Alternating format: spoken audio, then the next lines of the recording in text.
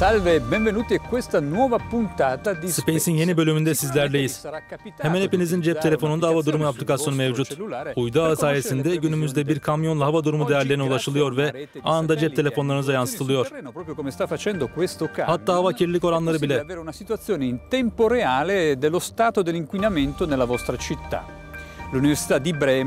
Almanya'da bulunan Bremen Üniversitesi'nde bu farklı veriler toplanarak atmosferdeki hava kirliliği oranları hesaplanıyor. Una fotografia molto importante per conoscere lo stato di salute dell'atmosfera terrestre. Dünya Sağlık Örgütü'nün yakın zamanda yayınladığı rapora göre ölümlerin 8'de biri hava kirliliği nedenleriyle gerçekleşiyor. Gözlem uyduları gezegenimizde solunan hava ve insanoğlunun yarattığı kirlilik değerlerini ölçmek için var gücüyle çalışıyor. Bremen Üniversitesi araştırmacıları alan ve zemin tabanlı ölçümlerden gelen verilere uyan atmosferik kirliliğin ölçülmesine öncülük ediyorlar.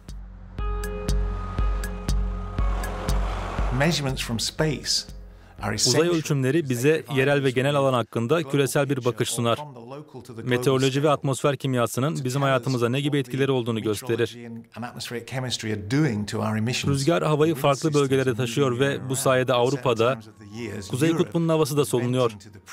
Özellikle yaz aylarında Avrupa, Amerika'dan gelen kirli havaya maruz kalıyor. Kaynakları tam olarak anlamak zorundayız. Yüzey yakı ve karbon gazı salınımını hesap etmeliyiz.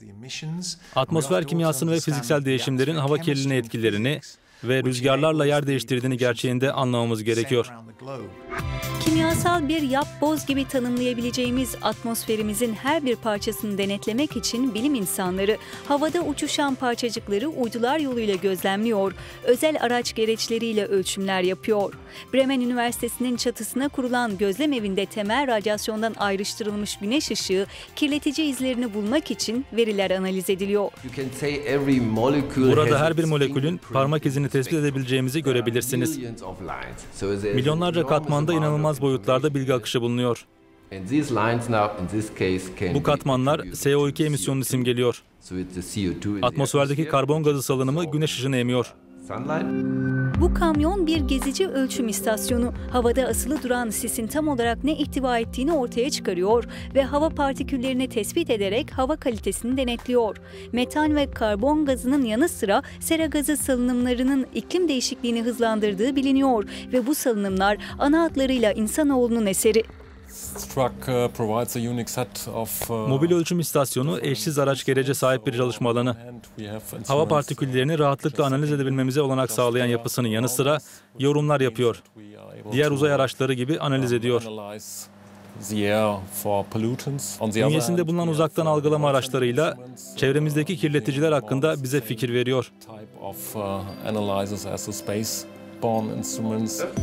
Bremen Üniversitesi araştırmacıları gelecek aylarda mega şehirler için daha gelişmiş hava kirliliği ölçüm aplikasyonlarını piyasaya sürmeye hazırlanıyorlar.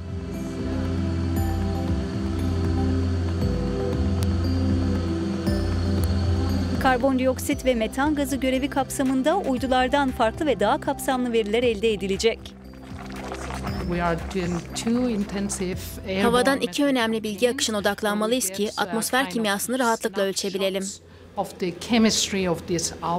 Elde edilen partiküllerin enstantanesini alarak analizleri yapıp uydu verilerini mega şehirlerdeki kimyasal evrimle karşılaştıralım. chemical evolution of the outflows from megacities.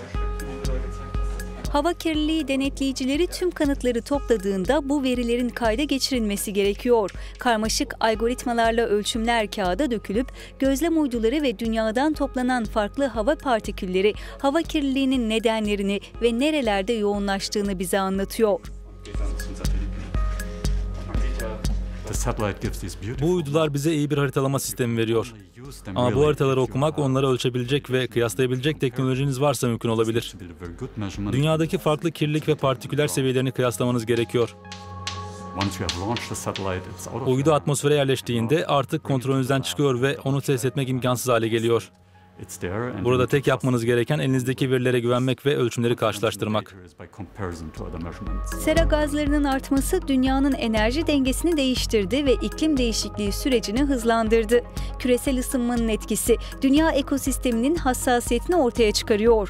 Bu durum bilimsel çalışmaları, yüksek etkili hava olaylarıyla baş etme ve uygun politikalar oluşturma becerilerimizi geliştirecek temel değerlerden biri haline getiriyor. İnsanoğlu iklim değişikliğinde temel sorumlulardan biri ve yaşamımızda uyguladığımız hemen her şey bu süreci hızlandırıyor. Bugün yaptığımız seçimlerin sonucunu ancak 50 yıl ya da daha sonrasında alacağız. 50 years or even maybe later.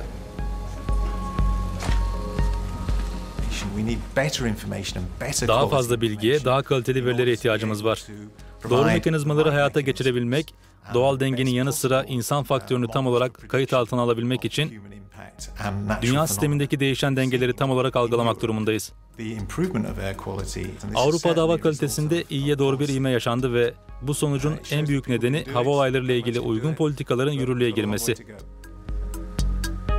2017 yılı sonunda uzaya gönderilecek olan ESA uydusu Sentinel-5 Procedure, dünya atmosferinden yüksek değerlerde kirlilik oranlarını yörüngeyle paylaşacak. Bu yeni uydu alınan verileri çok daha kaliteli bir hale getirecek.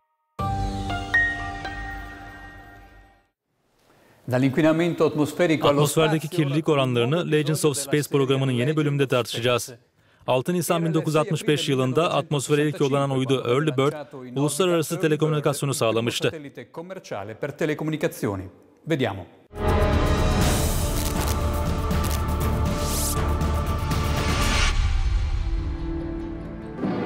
Early Bird, dünya yörüngesine yerleştirilen ilk uyduydu. 1965 Nisan ayında Delta füzesiyle Florida'dan yörüngeye gönderildi.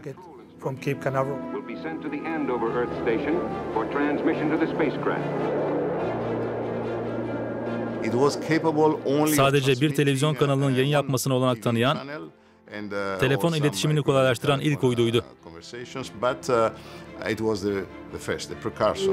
When the third stage separates, Early Bird Early Bird uydusu fırlatıldığında 10 yaşındaydım. Euh, Gazete başlıklarını gördüğümde oldukça etkileniyordum ve ilk uydu için oldukça heyecanlıydım.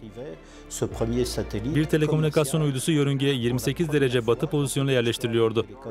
Ve bu durum dünyanın ilk uydusu Early Bird sayesinde tüm antenlerin sonsuza dek birbiriyle iletişim halinde olacağını müjdeliyordu.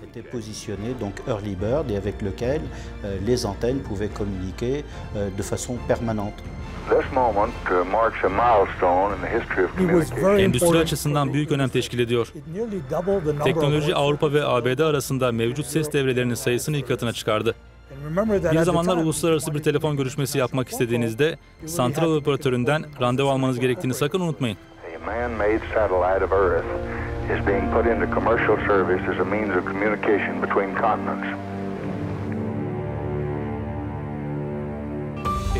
Şimdilik bu kadar. Space ve Legends of Space programlarının tüm bölümlerini web sayfamız uranus.com'dan izleyebilirsiniz. Hoşçakalın. Grazie per averci seguito e arrivederci.